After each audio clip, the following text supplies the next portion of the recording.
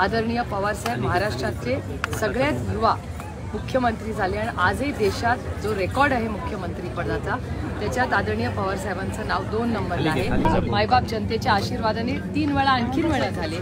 त्यानंतर L O P म्हणजे पार्लमेंटमध्येही लोकसभेतही लीडर ऑफ ऑपोजिशन राहिले अनेक वर्ष. डिफेन्स मिनिस्टर झाले ॲग्रिकल्चर मिनिस्टर झाले. आदरणीय पवार साहेबांवर गेले साठ वर्ष टीका केली की हेडलाईन होतेच. त्याच्यामुळे त्याच्यात काही गैर नाही. काल असं पण दादा बारामतीत बोलताना म्हणाले की यापुढे फक्त माझंच ऐकायचं बाकी कोणाचंच ऐकायचं नाही. आणि साठ मी वयाच्या साठाव्या वर्षी खरं तर हा निर्णय घेतलेला आहे. काहींनी अडतीसाव्या वर्षीच हा निर्णय घेतलेला आहे. म्हणजे नाव न घेता थेट त्यांनी साहेबांवर अशा पद्धतीने टीका केलेली आहे. म्हणला ही गोष्ट अतिशय बरोबर आहे. आदरणीय पवार साहेबांनी अडतीसा वर्षी काय निर्णय घेतला? ह्या मी तर खरं खूप लहान होते त्याच्यामुळे मला त्याची फारसा माहिती नाही.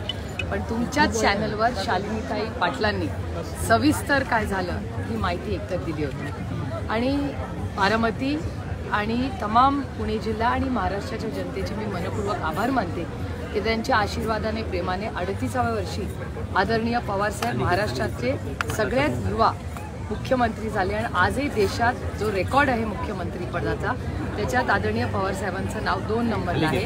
की सगळ्यात युवा असा मुख्यमंत्री होणारे महाराष्ट्रातले सगळ्यात युवक म्हणजे आदरणीय पवारसाहेब आणि सगळ्यात महत्त्वाची गोष्ट की ते माझ्या आणि दादासारखे परिवारवादवाले. नव्हते त्यांना परिवारवादाचा लेबलही लागलं नव्हतं. स्वतःच्या कर्तृत्वावर ते अडतीसा वर्षी तुमच्या सगळ्यांच्या आणि महाराष्ट्राच्या मायबाप जनतेच्या आणि महा बारामतीच्या मायबाप जनतेच्या आशीर्वादमध्ये ते महाराष्ट्राचे सगळेच युवा मुख्यमंत्री झाले. त्यानंतर महाराष्ट्राच्या मायबाप जनतेच्या आशीर्वादाने तीन वेळा आणखीन वेळा झाले. त्यानंतर एल ओ पी म्हणजे पार्लमेंटमध्येही लोकसभेतही लीडर ऑफ ऑपोजिशन राहिले अनेक वर्ष. डिफेन्स मिनिस्टर झाले ॲग्रिकल्चर मिनिस्टर झाले. आणि त्यामुळे जी त्यांचा जो प्रवास जो बारामतीत काटेवाडीतून सुरू झाला त्या तमाम बारामतीकरांच्या समोर मी नतमस्तक होते. की आदरणीय पवारसाहेब आणि पवार कुटुंबाला जो आशीर्वाद आणि साथ बारामतीकरांनी दिली त्यातूनच गेले साठ वर्ष.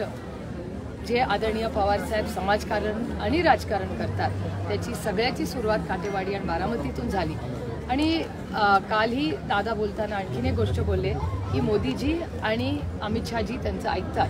ही फार चांगली गोष्ट आहे कारण आज ते सत्तेमध्ये त्या देशाचे प्रधानमंत्री आहेत. आणि जर प्रधानमंत्री त्यांच्या काही सूचना दादांच्या ऐकत असतील तर अतिशय विनम्रपणे मला असं वाटतं आपण सगळेच आपल्या काही जे प्रश्न आहेत ते आपण दादा दरबारी मांडूया. की दादांची च्या थ्रू जर मोदीजी आणि अमित शहाजी सगळ्या गोष्टी करत असतील तर हे मी मनापासून त्याचं स्वागत करते. आणि अतिशय विनम्रपणे महाराष्ट्राच्या मायबाप जनतेच्या वतीने दादांना विनम्र विनंती करते की त्यांनी महाराष्ट्रात सरसकट कर्जमाफी करून घ्यावी. आपल्या शेतकरी प्रचंड अडचणीत आहेत. त्यानंतर दुधाचा असेल किंवा आज तुम्ही बघताय इथेनॉलचा तोही प्रश्न त्यानंतर आरक्षण. मराठा धनगर लिंगायत आणि मुस्लिम समाजाच्या आरक्षणाचा विषय आहे. हा अतिशय गंभीर आहे. महागाई बेरोजगारीचे प्रकल्प महाराष्ट्रातून दुसऱ्या राज्यात गेले आहेत त्याचाही त्यांनी एक आढावा त्या दोघांबरोबर घ्यावा. आणि त्याबरोबरच जर हे सगळं दादांच्या मार्गदर्शनाने होणार असेल तर जसं आदरणीय पवारसाहेबांना अडतीसाव्या वर्षी बारामतीकरांच्या आशीर्वादाने आणि महाराष्ट्राच्या तमाम जनतेच्या आशीर्वादाने एक मोठी संधी या राज्याचं नेतृत्व करायची मिळाली टाकलंय त्याच्यामुळे माझ्यापेक्षा जास्त शालिनीताई पाटील त्या जास्ती स्पष्टपणे सांगू शकतील कारण का त्या तिथे उपस्थित होत्या सगळ्या घटना झाल्या. तुम्ही इतके दिवस सतत म्हणताय की? स्प्लिट नाहीये पार्टीमध्ये स्प्लिट नाहीये. काल अजित आहे. नाही राष्ट्रवादी काँग्रेस पक्षाचे अध्यक्ष आदरणीय पवार साहेब आहेत महाराष्ट्राचे अध्यक्ष आदरणीय जयंत पाटील आहेत आणि या सगळ्या भूमिका कागदपत्र ही सगळी आम्ही इलेक्शन कमिशनमध्ये आम्ही तर काही गेलो नाही. इलेक्शन कमिशननी आम्हाला प्रश्न विचारले त्याची उत्तरं आम्ही दिली. आणि राष्ट्र आहे. निवडणूक निर्णयामध्ये कळेल असं दादा म्हणतायत. निवडणूक आय- आयोगाचा निर्णय लागेल आणि मग माझंच ऐकावं लागेल ऐकावं इलेक्शन कमिशनवर विश्वास आहे आणि माझा विश्वास आहे की म्हणजे मला काही ॲक्सेस नाही आहे इलेक्शन कमिशनला. तर मला कुणाचाच ॲक्सेस नाही. त्याच्यामुळे आम्ही अतिशय प्रांजळपणे आमची बाजू मांडलेली आहे. आणि संविधानाच्या चौकटीत आम्हाला न्याय मिळेल अशी आमची अपेक्षा आहे. निर्णय काय होईल मला माहिती नाही. मी कसं सांगणार का निर्णय कसा होईल? म्हणजे आता मी पेपराला बसले तेव्हा चांगला पेपर लिहिला एवढं नक्की.